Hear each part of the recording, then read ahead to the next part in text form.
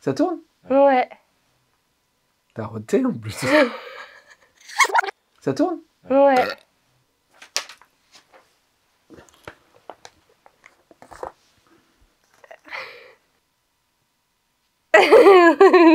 quoi Mais c'est quoi? Pourquoi tu me donnes ça? Mais c'est pour plus tard. Devenir sourd. Est-ce que ça t'angoisserait? Louis, oui. Hmm. Ce- Parce que en plus, euh, bah, j'ai fait des, des otites euh, tout bébé. Et donc j'ai déjà perdu de Louis. Ah bon? Ouais. Il y a un Britannique de 66 ans qui s'appelle Wallace Lee qui a perdu l'usage d'une oreille. Ah. Il s'est rendu compte avec le temps qu'il entendait de moins en moins bien jusqu'à quasiment plus entendre avec une oreille. 5 ans. Pendant 5 ans, il s'est habitué à ce truc-là, tu vois. Mais il s'est dit quand même, c'est pas normal. euh, Bon, d'un autre côté, j'étais pilote d'hélicoptère, j'étais à côté des Ah gros ouais. moteurs tout le temps. Ça, Et est-ce ça. que c'est l'oreille côté fenêtre Ah, peut-être, peut-être. Donc du coup, quand même, il va voir un ORL.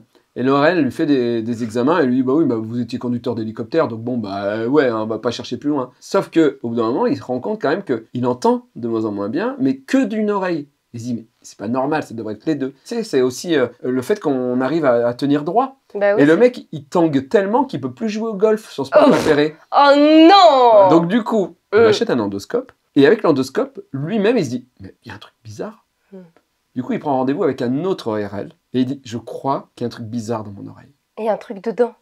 Ah, Effectivement. Tu sais, les écouteurs qu'on met euh, dans Ah les ouais oreilles avec le, le truc. Il en avait acheté un pour prendre l'avion, un, un- des écouteurs un peu de mauvaise qualité. Et quand il l'a retiré, Ah, c'est pas parti. il y a un écouteur qui est resté à l'intérieur. Oh. Et l'écouteur s'est rempli de cérumen. Euh... Du coup, le gars lui a retiré un bouchon de cérumen. Et d'un seul coup, plop, au bout de 5 ans, Il entend. il entend normalement. Maintenant, parlons de la dame aux 38 tampons. non, je déconne. Oh waouh. J'avais une amie à l'école, elle m'expliquait comment elle faisait. Elle me prenait un tampon, elle prenait une ficelle du tampon, elle l'attachait à la queue de l'autre tampon et elle les mettait deux d'affilée pour pouvoir tenir toute la journée. Et de la fin de journée, elle tirait, ça faisait venir les deux. Ah, je sais pas si c'est très euh, safe de faire Je suis ça. pas sûr. Oh là là. Ah.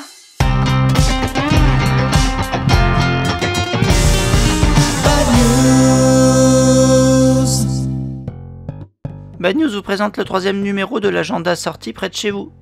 En mars, venez participer au célèbre festois de Sarlat en Périgord. Au programme des festivités, découverte des fermes de la région, chasse au trésor, ateliers d'hiver, mais surtout ne ratez pas la démonstration de découpe d'oie sur le parvis de la mairie, place de la Liberté, juste avant la fameuse Bodégois qui va enflammer la soirée. La figue s'accompagne délicieusement avec le foie gras, mais savez-vous quel autre fruit le sied également à merveille? Les pruneaux à mais à l'honneur sont plus digestes des fruits lors du Grand Pruneau Show. Concerts et gastronomie seront à l'honneur pendant le week-end. Attention, difficile de se garer dans la ville pendant les festivités.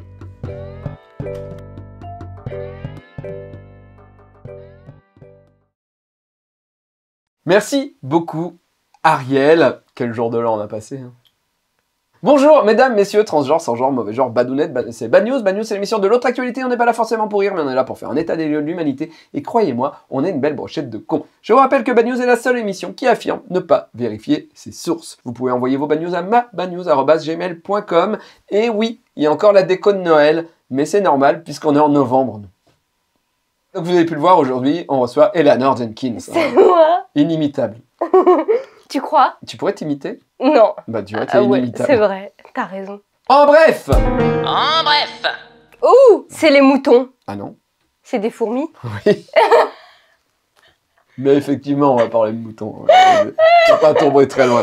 Ce Ouais, sont mais- des fourmis qui tournent en rond jusqu'à la mort. Oh waouh. Bah, Comme les moutons là, je crois. En fait, elles ont perdu le chemin de leur fourmi- fourmilière. Oui. Et donc, il y en a une qui sait pas où elle va. Donc Du coup, il y en a une autre qui la suit, une autre qui la suit, une autre qui la suit. Et elle tourne et elle s'épuise comme ça et elle Ah. meurt euh, au centre et elles vont mourir comme ça. Mais du coup, effectivement, on explique les fourmis qui tournent en rond jusqu'à la mort parce que à cause du parfum ou des phéromones, mais on explique moins ça.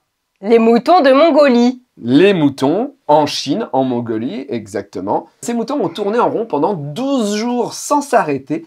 Alors ont-ils perdu leur chemin de leur moutonnière? Eh bien, ils cherchaient leur moutonnière, ou qui était dirigée par la reine des moutons.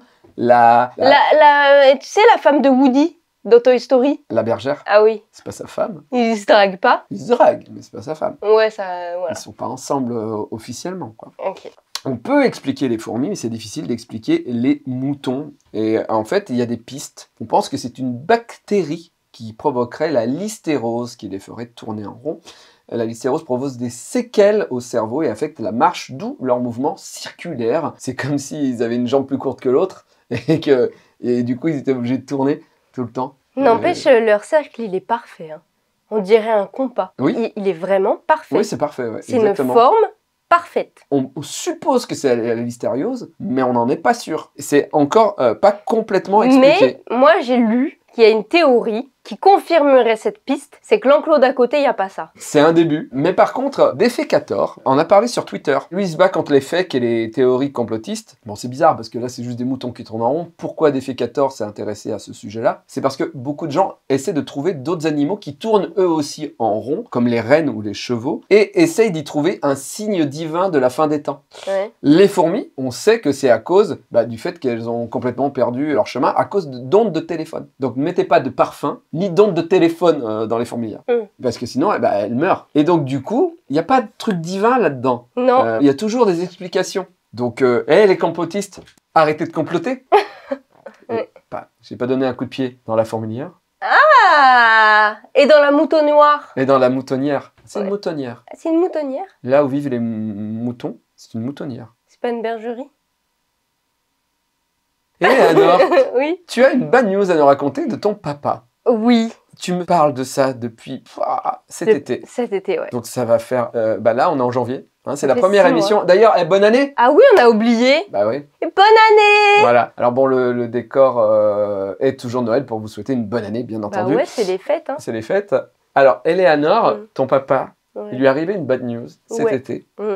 Il voulait que tu la racontes dans l'émission. Ouais. Hello, Mr. Jenkins. This is your bad news in bad news. Alors, Tu me dis quand tu- je dois mettre la photo. Ah ouais, je te dirais. Mais tu l'as déjà vu Mais non, tu me dis quand c'est approprié pour les gens. Ah mais vas-y. euh, Non, alors pas maintenant. Waouh. Et on est parti, mesdames et messieurs, pour un grand moment de 2023. C'est une bad news euh, donc qui arrivait à mon père, qu'il a écrite et donc je l'ai traduite. Parce que tu l'as écrit en anglais? Ouais, avant toute chose, il faut que tu saches que mes parents, ils ont un grand jardin dans lequel ils aiment mettre des fleurs. J'ai eu tellement peur d'avoir d'un seul coup trop de détails sur les Jenkins.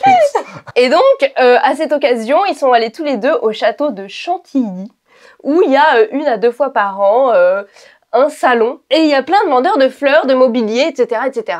De mobilier pour fleurs? non, de mobilier de jardin, par exemple. Ah oui. Ce jour-là, c'était un dimanche, il faisait assez beau, et euh, mon père décide de laisser son blouson dans le coffre de la voiture avec son portefeuille dedans parce qu'il est gros et il avait peur de le faire tomber ou de le perdre. Donc il a juste pris sa carte bleue, un peu de liquide qu'il a mis directement dans la poche de son pantalon. Et dès qu'ils sont arrivés dans le jardin, il a eu envie de faire ce qu'on appelle en Angleterre le numéro 2. Poop. A Jenkins pooping. Jenkins poop. Il a écrit L'envie était trop forte pour la contenir simplement en contractant mon sphincter. Ok. C'est pour ça qu'ils ont fait un arrêt aux toilettes. Les toilettes ne sont pas des toilettes du château de Chantilly, mais des toilettes euh, itinérants. Moi, j'appelle ça des toilettes itinérants. la photo là. Et c'est là où tu mets la photo des toilettes que mon père appelle des toilettes chimiques. C'était exactement à cet endroit-là, je pense. Et donc là, il écrit Il y avait un homme et une femme habillés en noir en train de nettoyer les toilettes. J'ai attendu qu'ils aient fini de nettoyer avant de rentrer. Les toilettes étaient vraiment très propres et confortables. J'ai traduit. J'ai juste traduit. Je laisse tomber mon pantalon, m'assieds et me mets à l'aise et envoie une selfie à ma femme qui attendait.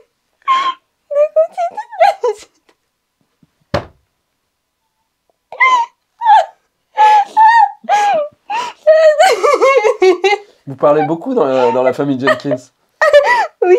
Oh là là. Pour prendre le selfie, je me suis momentanément mis debout avec mon pantalon autour des genoux pour prendre mon iPhone de la poche de mon jean. Lorsque j'ai fini de prendre la photo, je l'ai placé sur le rebord à côté du siège des toilettes. On n'aura pas de détails sur pourquoi il envoie une photo à ta mère de lui euh, à moitié à poil dans les chiottes. Très Non, bien. Je pense que c'était une selfie de sa tête. Je pense. Oui. On l'espère. Et je regarde ma merde descendre le long de la rampe bleue vers les profondeurs des WC, d'où on ne la reverra jamais. C'est lui qui a écrit. Ah, du Victor Hugo. Oui, mais en anglais c'est encore mieux même. Ok. Je finis de m'essuyer et lorsque j'ai terminé, je me relève et remets mon pantalon. En remontant mon pantalon, ma carte de crédit est tombée de ma poche. De ma poche avant, de mon jean, donc c'est cette poche-là, et je l'ai vue tomber en slow motion dans la même rampe bleue au long de laquelle ma merde venait juste de traverser. Je me suis baissée pour la ramasser, mais c'était trop tard. Elle avait glissé dans les abysses. Naturellement, j'ai paniqué et j'ai cherché un moyen d'ouvrir les toilettes. Moi, je pense que tout le monde, naturellement, cherche un moyen d'ouvrir les toilettes euh, publiques. Je me suis rendu compte que la seule manière, c'était de soulever toute la section supérieure des WC qui se renversait vers l'arrière et révéler les merdes des précédentes âmes qui avaient laissé la marque de leur passage de cette douce journée ensoleillée. Là, au milieu, il y avait ma merde déposée délicatement sur les précédentes livraisons du jour, pointant fièrement vers le ciel. J'ai l'image. Ma carte de crédit. La tronche.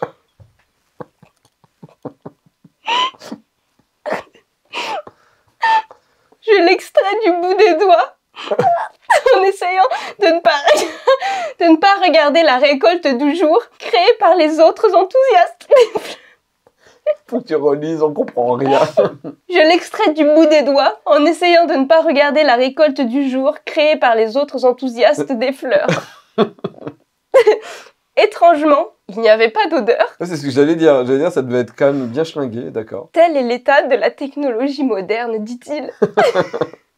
J'ai nettoyé ma carte de crédit à fond, refermé ma ceinture et rejoint ma femme afin que nous puissions continuer notre promenade dans le salon. Une C'est vieille, pas fini? Une vieille femme grincheuse qui ressemblait un peu à Muriel Robin est entrée juste après moi. Nos yeux se sont croisés. J'ai dit à ma femme, elle ressemble à Muriel Robin, non? Ma femme et moi sommes partis. J'ai tapoté ma poche et réalise que je n'ai plus mon iPhone. Tous mes contacts, tous mes mots de passe, toute ma vie professionnelle et personnelle étaient dans ce téléphone. À savoir, il travaille dans l'informatique et apparemment il n'a pas fait de sauvegarde.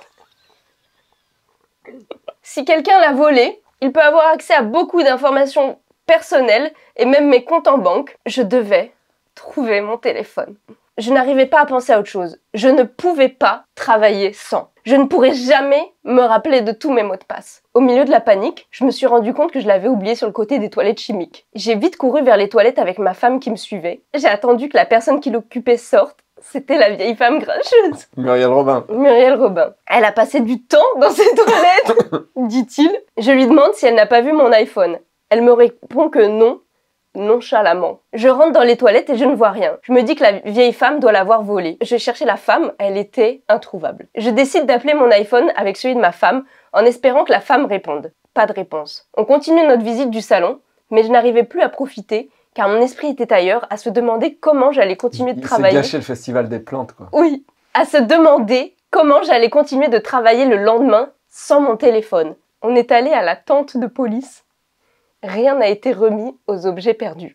Pendant deux heures, on s'est baladé dans le salon. Toutes les 15 minutes, j'appelais mon iPhone. Je pensais que au moins ça irriterait la vieille femme si je ne pouvais pas avoir mon téléphone. Et soudainement, j'ai eu un flash. J'ai laissé le téléphone sur le côté du siège. Lorsque je l'ai soulevé, il a dû tomber dans les toilettes. On a recouru vers les toilettes. L'homme et la jeune femme nettoyaient les toilettes à nouveau. Ils le faisaient régulièrement. Les toilettes étaient remarquablement propres. Et félicitations à eux. Je leur explique pourquoi je suis de retour et en panique. La jeune femme a alors dit que lorsqu'elle nettoyait les toilettes, elle a entendu un téléphone sonner de dedans. Elle venait de réaliser que c'était mon téléphone qui sonnait sous 40 cm de produits chimiques et de boue humaine. J'étais heureux que mon téléphone fonctionne encore.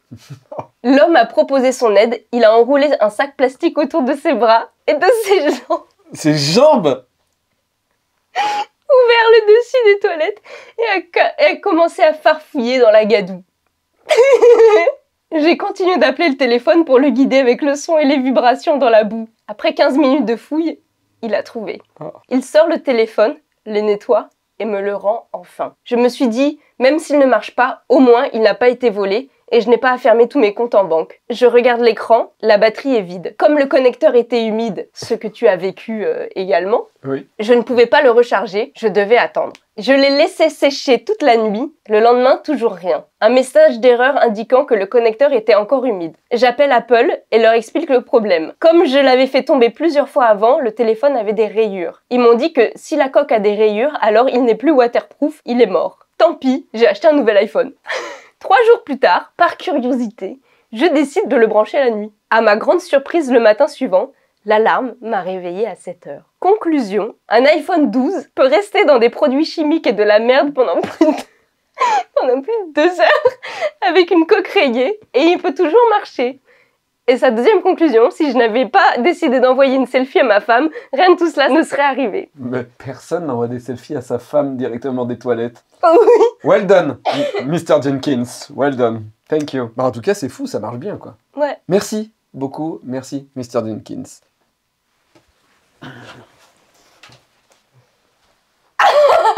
Je me suis pris un vent On t'a rien demandé, hein? Pourquoi tu fais ça? Ah, c'est Rémi qui arrive. Je Bonjour, vous avez un bon de commande? Oui, j'ai un bon de commande Oui, attendez. Ah, oui, c'est bien vous. Et merci d'être passé au point relais. Ah, le point relais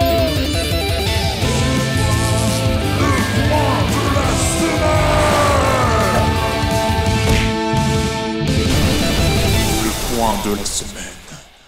Je dois l'ouvrir Pourquoi tu parles plus Bah oui, oui. Bah, Ah oui. C'est ce qu'on fait en général quand on reçoit un colis. Bah, je savais pas si c'était pas un accessoire de jeu, moi. J'ai peur, Davy.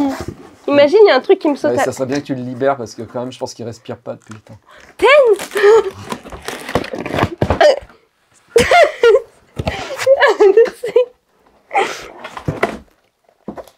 Il y a un autre truc. Résultat, en 3 secondes, c'est beau prendre ma température. Oh, je l'avais petite T'étais malade dernièrement et t'avais rien pour prendre la température. Et du coup, je savais pas si t'étais euh, pour dans le cul ou pas. Donc du coup, t'as les deux. Mais oui, bah, tu sais que là, je, je t'ai parlé du, du thermomètre anal De ton grand-père.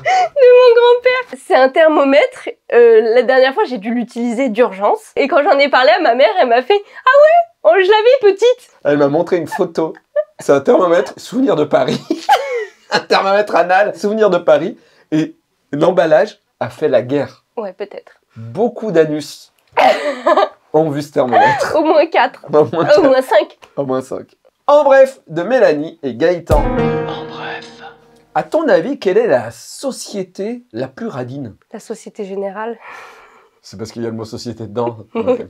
Eh bien, nous, on pense que c'est Haribo. Ok. Ça se passe en Allemagne, à Ouais. Francfort. À Noir, c'est le nom de notre héros d'aujourd'hui, a trouvé par terre un chèque. Et ce chèque est destiné à Haribo. Mhm. Le chèque est par terre, dans la rue, En Allemagne. à Francfort. Et Et- il le ramasse, il regarde, il voit pour Haribo, et le montant du chèque est de 4,6 millions d'euros. Mais à quel moment tu perds un chèque de 4,6 millions? Bah, je sais pas, mais ça fait une grosse perte. Oui. Donc, lui, c'est quelqu'un de gentil. Il se dit, je vais appeler Haribo et je vais les prévenir. Il appelle Haribo et il dit, euh, bonjour, j'ai trouvé un chèque de 4,6 millions par terre. Qu'est-ce que j'en fais? Et là, Haribo fait, oh là là, détruisez-le, détruisez-le. Et le gars, il fait, ok, je le détruis. Parce que lui, il se dit, quand même, si c'était tombé dans de mauvaises mains, ça aurait pu leur coûter cher, quand même, quoi, tu vois. Mais c'est- ben, attends, attends, attends. Parce que si c'est écrit pour Haribo, n'importe qui qui le met. Attends la fin.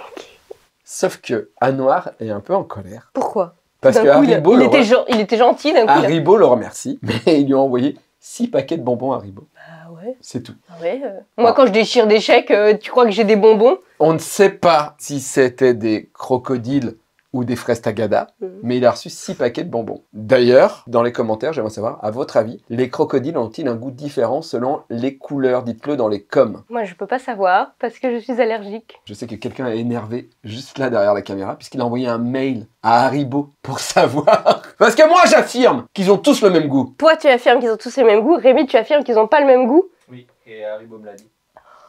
Il a... Non, fallait attendre dans les commentaires Et donc, ils ont pas le même goût. Ils ont pas le même goût.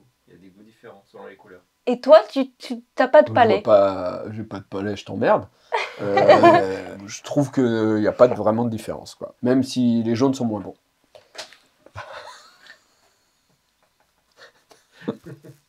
Ah noir, il est hyper en colère. Il vient de déchirer un chèque de 4 millions et il reçoit 6 paquets de bonbons. Il en a et là il fait euh, quand même Haribo euh, voilà hein le fric euh, Haribo c'est bon le fric c'est pour les grands et pour le fisc il se dit et sauf que Haribo répond c'est bien gentil de dire qu'on est méchant mais personne à part nous aurait pu encaisser le chèque Bah oui. il nous a pas sauvés, il a juste détruit oui. un chèque. Alors six paquets de bonbons, bah c'est la récompense habituelle. Quand quelqu'un fait un truc par rapport à notre marque, on envoie six paquets de bonbons. Surtout que l'émetteur, c'était pas Haribo. Donc, Non. si euh, il avait réussi à changer le destinataire pour mettre son nom, et Ça bah, aurait été pris sur un autre compte. oui, que, c'est pas Haribo, donc eux, ils auraient rien eu encore. Bah oui. Donc euh, à noir, euh, ta gueule. À savoir que mon père, il aime beaucoup faire des mails aussi. Ah Rémi, ouais il envoie des mails à Haribo et mon père, c'est à Sirosport. Mon père aime le sirop à la grenadine. Mais pourquoi sport? C'est la marque, c'est le nom, le Sirosport Sportif? Rien à voir avec le sport. Le nom Le nom, c'est sport Comme Bigard La star du steak haché? Oui Ok. Donc mon père boit du sirop de grenadine sport. Et un jour, son sirop de grenadine a un goût de menthe. Oh. Et mon père fait, mon sirop de grenadine a un goût de menthe. Je, ok. Mon sirop de grenadine a un goût de menthe. Peut-être qu'il y a eu... Ah non, mais c'est pas possible, hein. T'as Et goûté? il a fait une lettre. Il a fait une lettre. Il avait deux bouteilles qui avaient un goût de menthe. Il a envoyé une lettre à Sirosport. Sirosport lui ont téléphoné. Lui ont dit, mais vous pouvez nous donner les numéros euh, des bouteilles et tout? Donc mon père avait gardé les bouteilles, il lui a donné les numéros. Et Sirosport s'est excusé et ils ont dit, effectivement, juste avant, les cuves avaient du sirop de menthe Oh, et on a dû mal nettoyer. Et c'est pour ça que votre sirop de grenadine. Et donc en échange, il a eu deux bouteilles de grenadine. les deux qui étaient euh, défectueuses. Donc en fait, euh, Mon il- père, il va au bout des trucs. Hum, C'est bien. Mais moi, je pense que Kinder aurait été plus généreux. Mot code activé Ouais. J'ai mangé la surprise du Kinder Surprise Et quand je l'ai chié de merde tout enrobé Je l'ai empaqueté et je l'ai vendu à un enfant Toubilouba, toubilouba, que j'ai vendu à un enfant Toubilouba, toubilouba, Kinder Bio C'est mieux que la salmonelle Mange bien. Mange tout. Et merci, euh, je crois, Pampoitou. En bref Est-ce que tu es déjà allé au parc des Astérix? Bah oui, cet été. Du coup, est-ce que tu connais ça? Oui, c'est la poubelle magique. Et alors, comment ça, elle est magique, Eleanor? Quand on met la main dedans, il dit miam. Ouais, il dit d'autres choses aussi, il dit... Pas de papier. Ouais, du papier, Ouais. j'ai très faim, je voudrais manger du papier. Et c'est tellement drôle, les gens adorent tellement, qu'elle fait partie d'une attraction hein, du parc Astérix. C'est une poubelle, et en fait, c'est devenu un truc que les gens, ils vont autour de cette poubelle, et ça, ils jettent du papier, etc., etc. Eh bien, en Suède, à Malmö... Malmö. Malmö Malmö. Il y a un euh, tréma. Ouais, C'est oh, Malmö. À Malmö, le pays des vaches... Non, j'étais pas là-dessus. Non, j'étais pas là-dessus. Non. À Malmö, le pays des vaches... ah, il faut le dire plusieurs fois. C'est l'entêtement qui me fait ça, rire. Alors, à Malmö, des poubelles parlantes, il y en a aussi. Et par contre, visuellement, elles sont beaucoup moins fun. Et la nouveauté, c'est que pendant le Covid, les poubelles à Malmö parlaient et disaient aux gens de s'éloigner de la poubelle parce qu'il pouvait y avoir des miasmes ou des choses comme ça. Sauf que maintenant, le Covid, euh, c'est presque fini. Les gens là-bas évitent toujours la poubelle. Et du coup, ils se sont dit Ah merde En fait, on voudrait que les gens réutilisent nos poubelles au lieu de jeter les papiers gras dans la rue. Du coup, il faudrait que nos poubelles attirent les gens. Oui. Et donc ils se sont dit, ah, comme dans le parc Astérix, elle dit des trucs quand on met des trucs dedans, nous aussi on va faire ça. Et puis ils se sont dit, ouais, mais qu'est-ce qu'on pourrait faire de rigolo? Je sais, si par exemple la poubelle, au moment où on lui met un papier, elle faisait, merci. Ou alors des, ah ouais, juste ici. Eh bien, c'est un flop total. Bah ouais. Les gens ont trouvé ça euh, trop sexiste, Oui, un peu. et pourtant c'est une femme qui est à l'initiative du projet, elle s'appelle Marie Personne. Ben ouais, mais c'est pas parce que t'es une femme que t'as toujours des idées euh, féministes. Euh, oui. On peut merder, homme ou femme à un moment, ou sans genre. À un moment, on peut merder. Bon, là, elle a un peu merdé. Mais en France, moi, on m'a dit qu'il y avait des poubelles qui étaient doublées par Michel Leb. Moi, j'ai pas la référence de Michel Leb, alors ça doit être très drôle. Bah, en fait, euh, c'était des poubelles racistes. Ah. Et quand tu mettais un papier dedans, elle faisait Bon, lady, encore une fois, allez Je l'ai.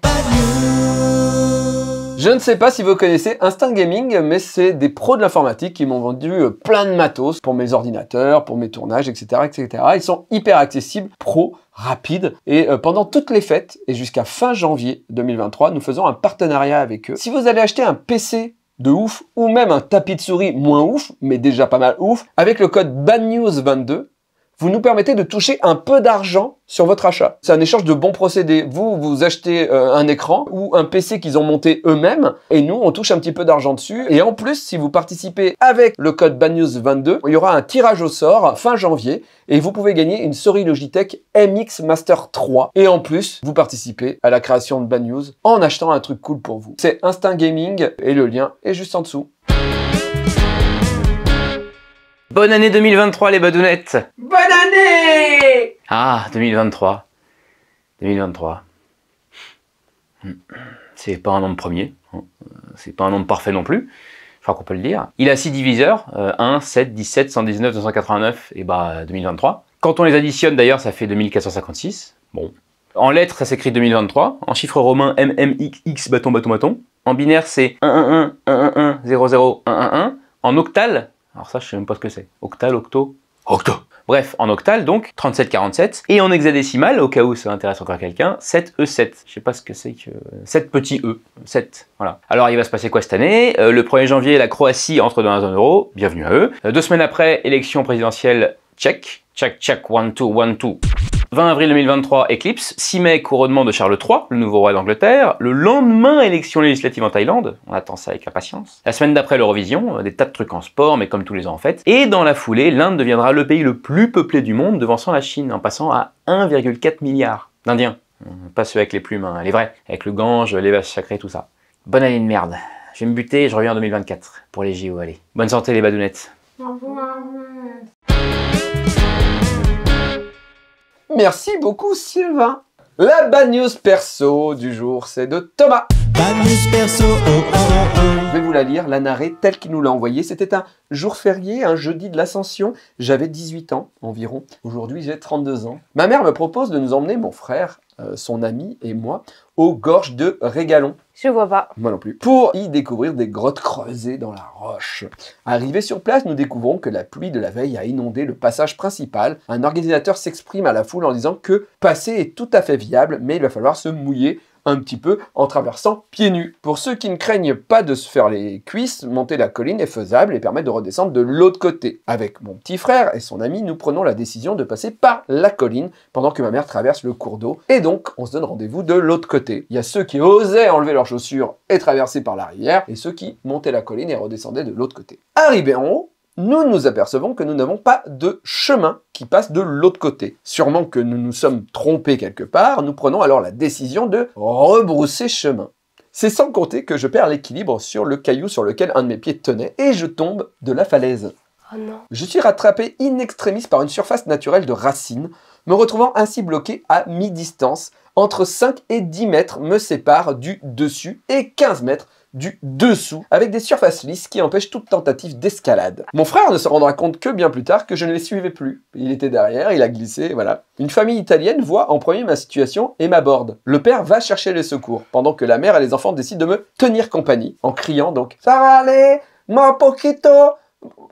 je sais pas, en demandant aux enfants de chanter toutes leurs chansons d'école en italien, puisqu'on n'arrive pas à parler, jusqu'à l'arrivée des secours.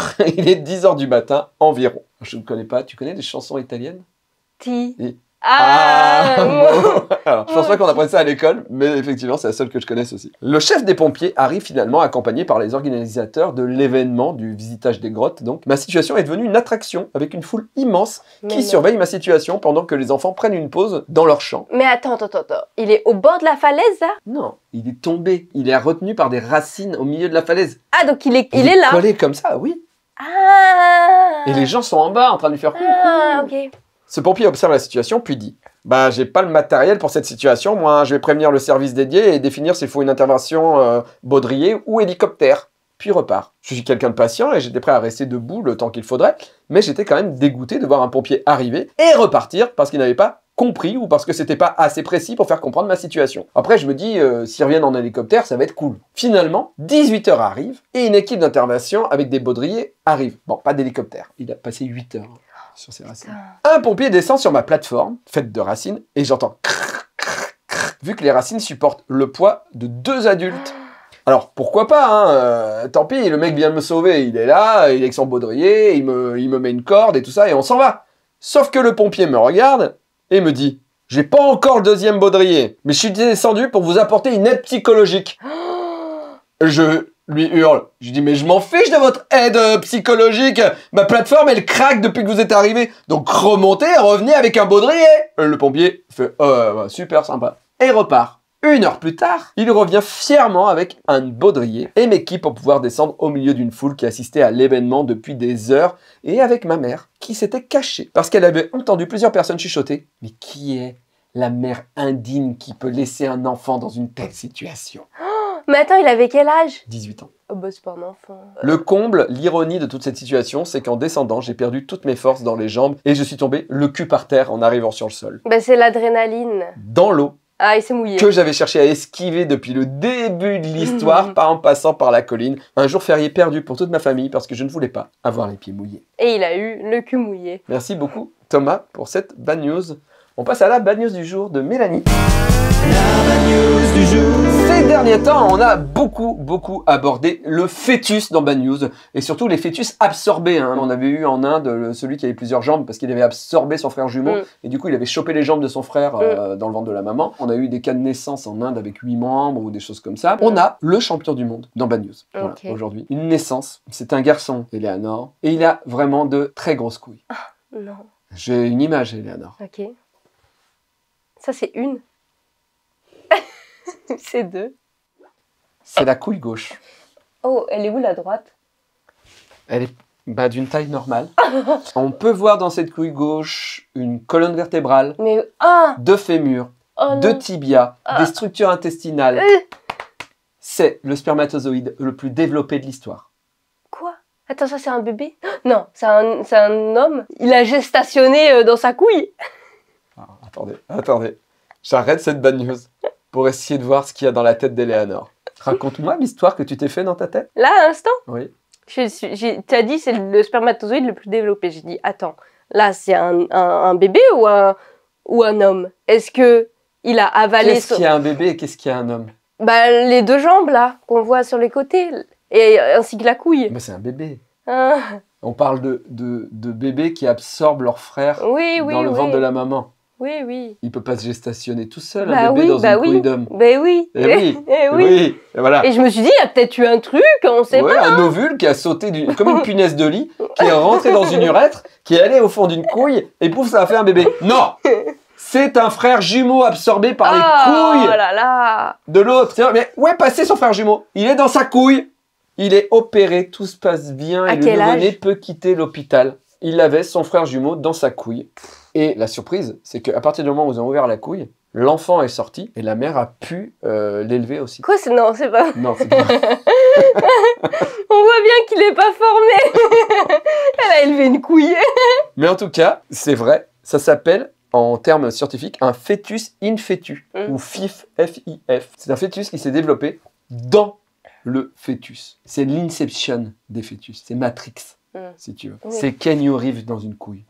Non. Voilà, Eleanor, est-ce que tu as déjà vécu dans une couille? Ben, je crois pas, non, j'en ai Non. pas le souvenir. Comme peu de gens, finalement. Merci beaucoup pour euh, la bonne news de ton papa. C'est une très bonne année 2023 qui commence. Merci à tous d'avoir suivi cette émission. Je vous rappelle que nous avons un Patreon, un YouTube, qu'on a euh, de quoi vendre des euh, t-shirts, des mugs, des choses comme ça sur Redbubble. Vous pouvez aussi me commander des dessins. Vous avez eu de l'argent à Noël. je fais lesdessinateurs.com.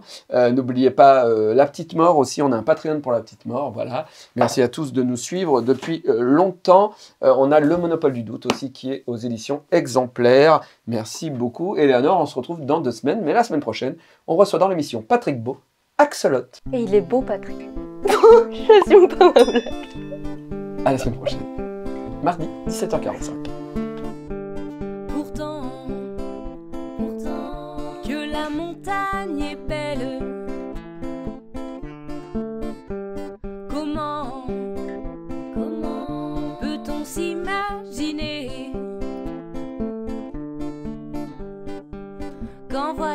Vol d'hirondelles, que l'automne vient d'arriver?